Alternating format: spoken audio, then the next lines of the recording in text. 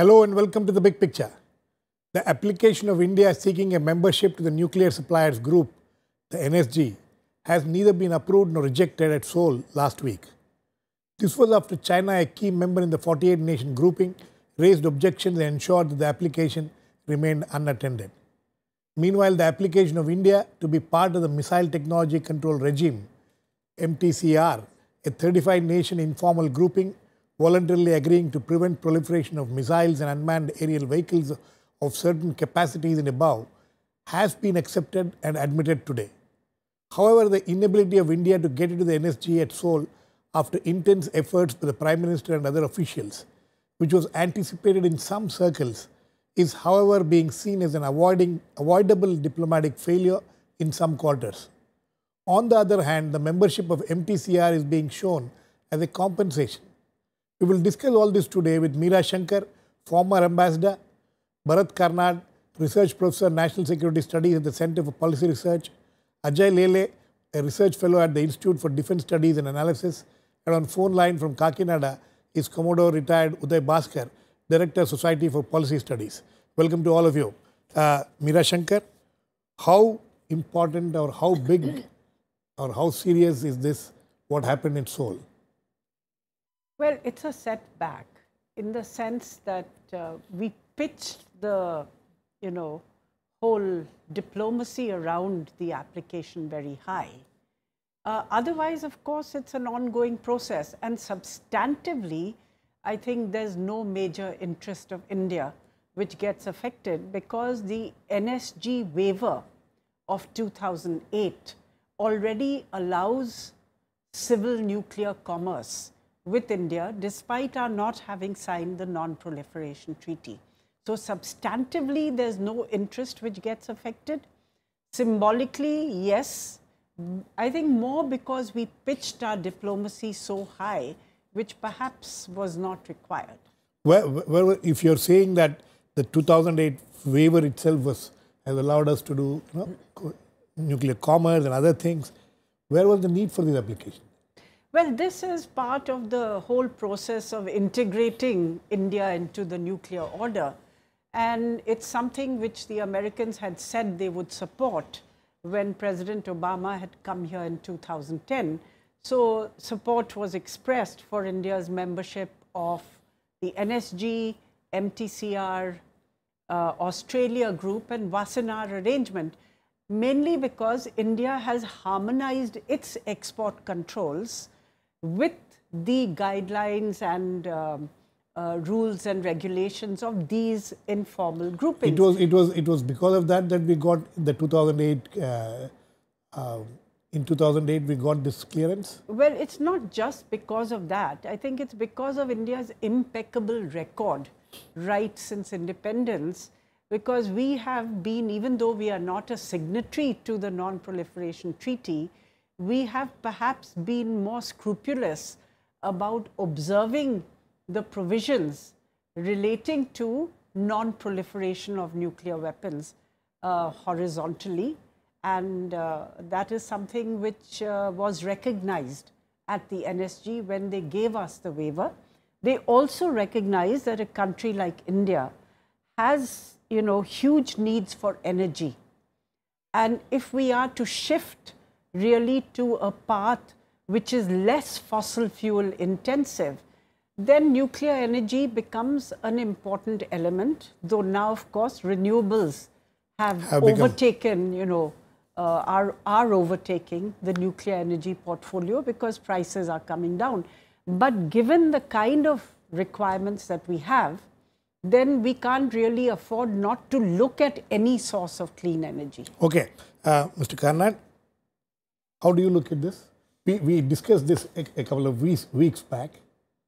Well, as I had said then, I think, if I recall, uh, I was skeptical of the success of uh, the Prime Minister's efforts.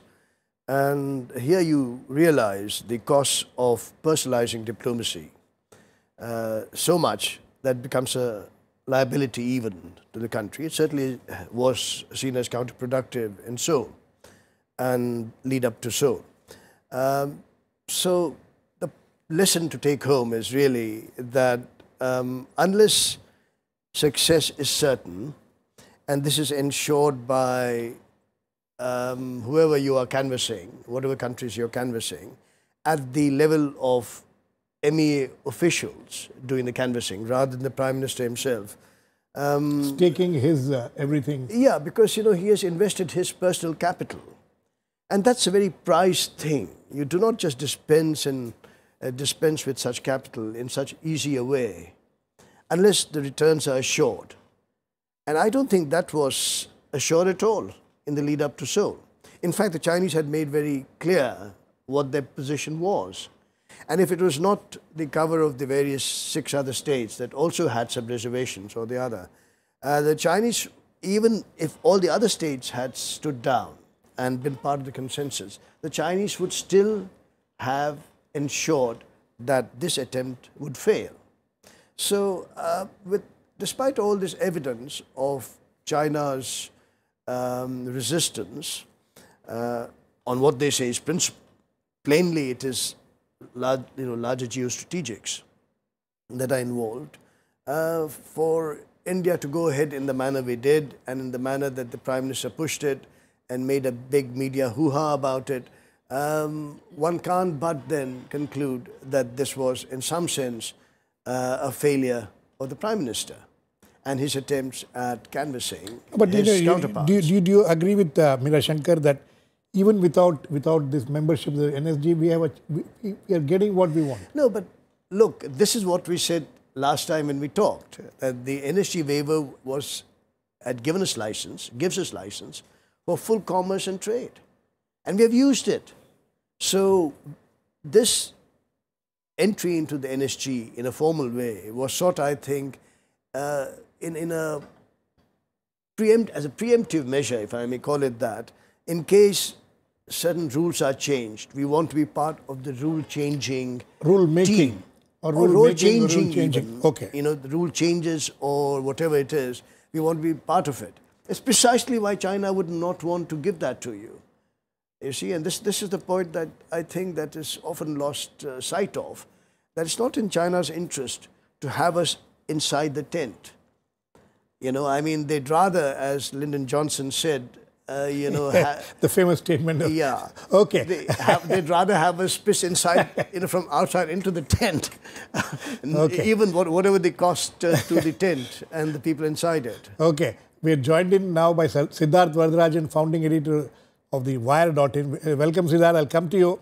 Uh, let me go to uh, Ajay Lele now. Aj- Ajay Lele, you know, the membership of the MTCR, which, which we seem to have got today, which has been, I think, formally approved or being approved today. How important is it? Is it some kind of a compensation to NSG? Can you, would you say that? I think I don't, I will not say that there is a compensation as far as NSG is concerned. Uh, this is essentially because uh, if I put it simplistically, that you are appearing for the exams and you got four questions, uh, you should uh, solve the questions which are easier earlier. What we did was that we had put our money on NSG, which is supposed to be the toughest question. But having said that, that MTCR was not that a tough question because the elephant in the room which was there as far as NSG was concerned, uh, the C factor was not there as far as MTCR was concerned. So from that point of view, I think this is a welcome thing to happen. Uh, it should have happened few years back only. We had given indications in month of June itself uh, after we have signed the Hague Code of Conduct that yes, we are on the line and we are trying to follow the global norms on these issues related to MTCR and related issues. So from that perspective, I will say that it's a welcome thing to happen, particularly at the fallout of what had happened in NSG. I think at least some sort of a success is there now. But what, are- what, what are the benefits of being member of the MTCR? Uh, as far as MTCR is concerned, uh, the benefits are again uh, the technology. Uh, we were not uh, given the high-end technology. If you recall, uh, during early 1990s, India was denied the cryogenic engine from Russia because of the MTCR guidelines. So now there will be beneficiaries who will be the ISRO. Again, you are having a program along with Russia on BrahMos. That also will be beneficiary. There could be Arrow 2 missiles which we will be able to manage from Israel now.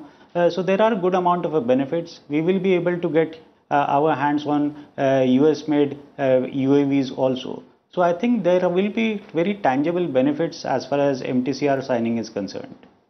Okay. Uh, Uday, Uday Bhaskar, are you there? Can you hear me? I can hear you, Girish. Hi. Okay. Hi. Uh, Uday, how do you look at this? You know, the, the, uh, this, this, one of the things which is being said as far as the NSG, whatever happened in Seoul is concerned, is that, you know, it, it was, it was uh, a, a, a MEA uh, Ministry of External Affairs took over the entire thing. The Atomic Energy Commission was not virtually consulted on this. There is a, a, former chairman who says that who has been has gone on record saying that they were, they were not consulted. You know, you, when you look when you look back, do you agree with what my other guests are saying about this, or you know, do you have a different point of view? I have a slightly different interpretation, Girish which is that I've heard, you know, what was said just now by my other co-panelists, and you'll recall that we discussed this last week also. Right. So three quick points. I think the fact that the Chinese were able to block India as far as SG admission is concerned, along with the support of quote unquote some other like-minded countries, is disappointing, yes. It is not surprising. Meaning that if you reconstruct the events of the last two weeks, I would say that from the time the Global Times came out with such a strong op-ed comment in which they castigated India and made various allegations, it was clear that China was going to do anything to ensure that India would be blocked, and that happened. But as far as membership into the NSG as a participating government for India, I'd like to suggest that it was not inconsequential. Now, as an objective, as a goal, I think for India, beginning July 2005, the ultimate objective was that we would be integrated, harmonized into the regime. Suppliers group, MTCR, Australia group, etc. And therefore, there are certain benefits, some which are intangible, there are some which could become tangible, political, diplomatic, strategic. And I think I'd like to pick up on this line that was used that if you are in the tent or in the group, there are collateral advantages for you. And I think we also have to take note of the fact that 2008, NSG as a collective had accorded exceptional status to India. Now, this needs to be formalized to avoid the possibility that a few years down the road, however low the exigency or the probability is, that another NSG plenary with different players should not revisit 2008. So to prevent that exigency, I think it is desirable for India to look at formal status as a participating government.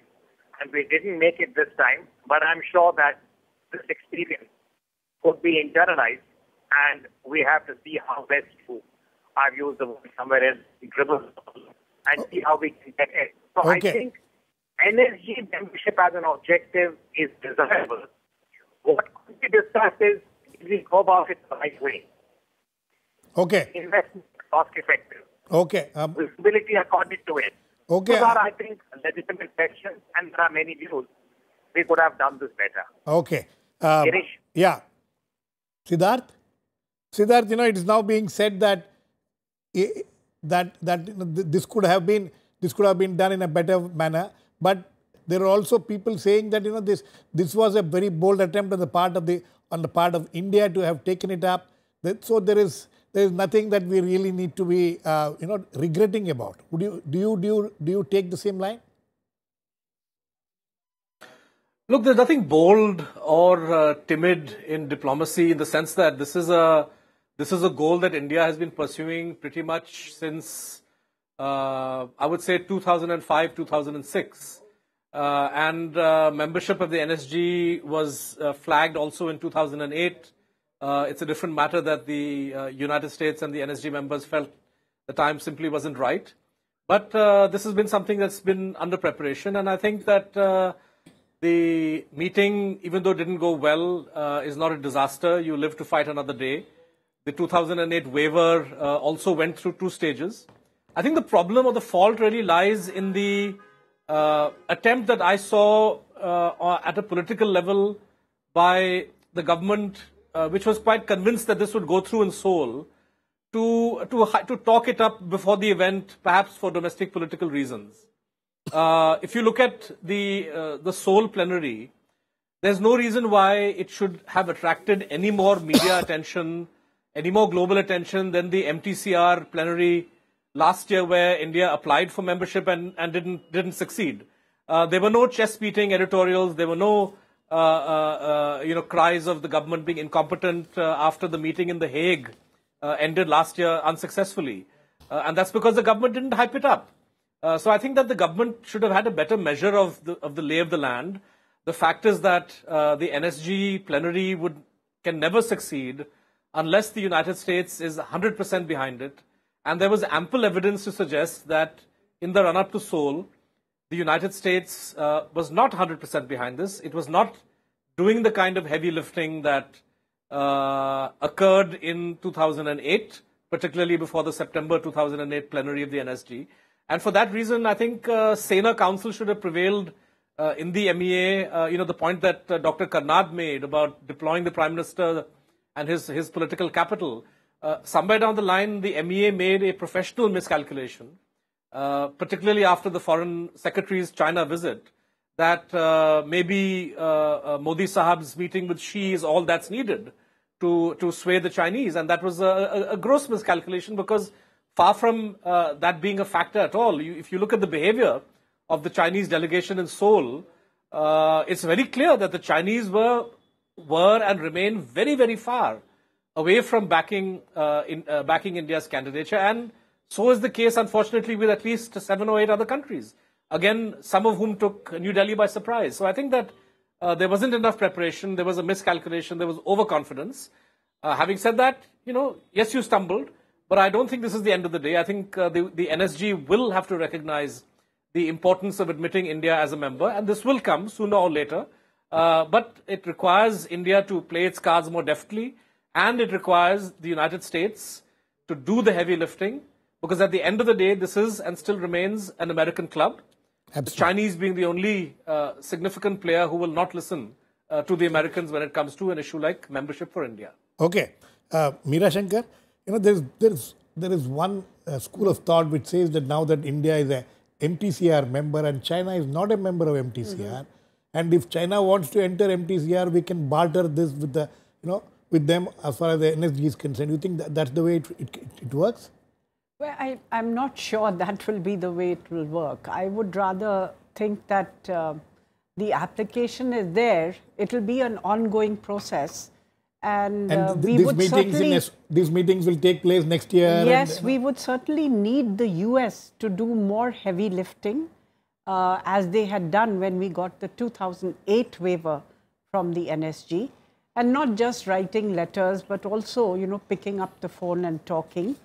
And, um, you, you, know, we would need to work with some of the other countries uh, who raise doubts about procedure and process during the course of this. So we would have to be much better prepared, um, you know, in terms of our diplomacy. And you would use whatever levers are available to you at that time. Mr. Karnad, you know, why, why do you think US did not do the kind of heavy lifting it, it did in 2008 this time? Well, look, I think uh, there are two things really. One is assuming they did the heavy lifting, would that have worked? Because no, there's yeah, because no. there's a relative uh, imbalance now um, uh, in, so in favoring China. Things things have changed since 2008. There is a de relative decline in the U.S. influence and power worldwide, and not just in the NSG. And so you have the problem wherein you know even assuming Obama had pushed hard and called up everybody and canvassed and so on, that it might have worked. It wouldn't have worked with Beijing. It may have worked with perhaps New Zealand and Ireland and so on. I doubt whether it would have worked with Turkey. Uh, because Turkey has come out and said they have hyphenated India and Pakistan. They said a joint entry would be uh, the best way to go. That's the, uh, the position they took. So you have a relative decline of America. Uh, combined with, I think, uh, Obama's being distracted by his own internal domestic uh, politics and so on.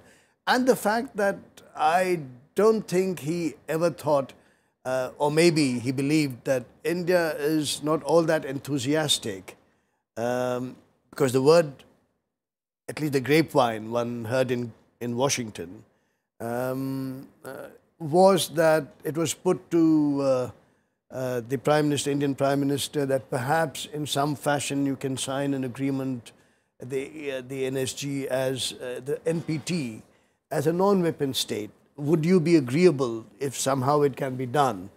And uh, I'm given to understand the Prime Minister naturally and reasonably turned it down.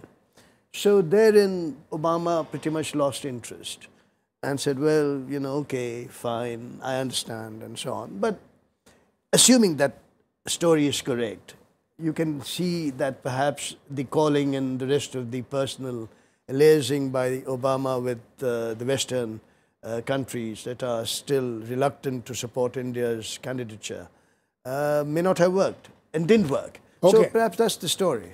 Okay, Ajay Lele, so this MT, MT, M, M, MTCR giving us some kind of a leverage to with China as far as the uh, NSG is concerned. Do you do you do you subscribe to that view? Uh, I think I will uh, be slightly careful about uh, dealing with China in some, some sort of a barter sort of a mission. Uh, because one must understand and appreciate the fact that if India is telling entire world uh, that we got one of the best non-proliferation records, uh, then it will not be prudent on the part of India to side with China in spite of fully knowing well that what sort of a record which they have got. So just to get one membership, you just can't allow China uh, to walk free, uh, knowing fully well the type of a record which they have got right from Pakistan to North Korea uh, to Saudi Arabia as far as missile technology is also concerned. So from that point of view, I think India should be very careful uh, because let's not be too realistic also about the issues. One has to take certain amount of idealistic position as far as disarmament and non-proliferation is concerned. And I don't think so that India should give China a loose rope just because China is going to help India to get into NSG. Okay, it's an interesting point of view. Uh, Uday, Uday, you know, there, Yeah. there, there is this there is this point of view which is now coming around saying that you know if in, if Pakistan has to be in the in the NSG, India should India will have no objection. You know, some so this is coming from the official quarters of the Indian government saying that you know they won't object if Pakistan becomes is also uh, you know allowed into the NSG. How do how do you how do you look at that? Well, I would say, first of all, that India should not allow itself to be linked again with Pakistan in any way. Because if you look back, I would say that the major punctuation of 2008, when India was accorded the exceptional status by the NSG, is that it was treated in a stand-alone manner. In 2016, for whatever reason, whether it is because of China or Pakistan's insistence, the suggestion that India should now be linked up with Pakistan, I think, would be a step back for India, should be avoided. As far as Pakistan's admission is concerned, I said this last time on your show, Girish, I'm saying it again. I think India should urge the collective of the NSG go back to whichever yardstick they want. If they want to introduce criteria, at that time, Gary Ackerman, a U.S. congressman, had a great line. He said, let Pakistan establish a track record like India, which means this is 2016. Let's look at Pakistan's credentials in 2046. Hey, So, in that sense, I think India should not in any way get linked with Pakistan and urge the collective global community, saying that more than membership, we are talking about a serious security challenge, which is AQ Khan. That is the shorthand. It is the linkage with terror groups, the possibility that fissile material could be, quote unquote, enabled by a government like Pakistan to go to the wrong hands. And these are serious issues. Okay. And I think in the Seoul meeting, the chair did try to draw attention to the AQ Khan issue, but was deflected because of the politics that prevailed. Right. So I think for India at this stage, it would not be desirable, I think, to make any reference to about either supporting or not supporting Pakistan's candidature or Okay. application. Okay. That should be treated by the NSG on its own merit. Siddharth, how do you look at this? You know, is that would that kind of a compromise is, is it workable? Is it, is it would it also help improve India-Pakistan relations? Some people say that you know if we allow, if we uh, if we don't object to Pakistan coming in, it will help in Indo-Pakistan relations also. Look, there is uh, uh, that is that is fine in theory. In practice, there is absolutely no way that the NSG is going to admit Pakistan as a member. Uh, I would say that as matters stand, there is no way that the NSG will even consider giving a waiver to Pakistan along the lines that India got in 2008 without the, without the Pakistanis fulfilling several more conditions over and above what India did. Uh, so this discussion is essentially a discussion intended at the NSG to derail uh, India's candidature. Let's be very clear about this. Uh, are we seriously expecting uh, Ireland and Switzerland and Brazil and Mexico, uh, uh, you know, when they talk of criteria, are they really interested in a Pakistani membership of the of, of? Certainly not. so this entire debate or discussion is is one that you simply can't win. I think it's important for India to make the point that uh, no non-NPT country is alike.